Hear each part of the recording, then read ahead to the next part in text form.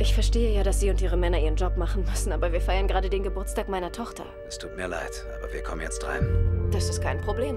Wir haben nichts vor Ihnen zu verbergen. Mein Mann ist ein guter Mann. Verwechseln Sie seine Ehrlichkeit nicht mit Schwäche. Er hat Respekt verdient. Das war wirklich sehr respektlos. Ich führe eine seriöse und saubere Firma.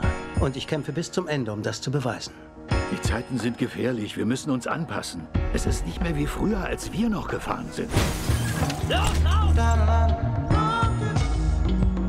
Es gab hier im letzten Jahr mehr Morde und Vergewaltigungen als je zuvor, wenn Sie gekommen sind, um mir zu sagen, dass wir ein akutes Sicherheitsproblem haben. Das ist mir bewusst. Das kann so nicht weitergehen. Du führst hier einen Krieg. Sie haben vor zwei Jahren begonnen, in meiner Branche zu ermitteln. Haben Sie irgendeine Ahnung, wer uns das antut? Tja, vielleicht tragen Sie selbst dazu bei, dass Ihnen das passiert. Ich habe mich immer für den ehrlichsten Weg entschieden. Das Ziel steht für mich nie in Frage.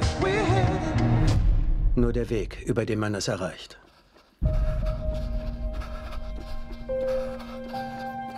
Wo hast du die her? Deine jüngste Tochter hat sie im Gebüsch vor unserer Tür gefunden. Das ist nicht nur eine eingeschlagene Scheibe.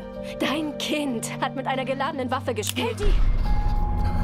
Der Staatsanwalt erhebt in 14 Punkten Anklage. Wir haben es nur etwas zu weit getrieben. Das ist alles.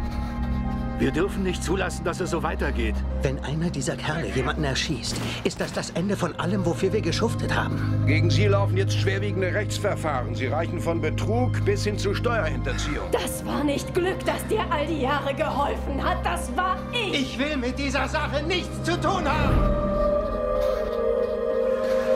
Wenn man Angst davor hat zu springen, genau dann muss man springen. Sonst tritt man für den Rest seines Lebens auf der Stelle. Und das kann ich einfach nicht.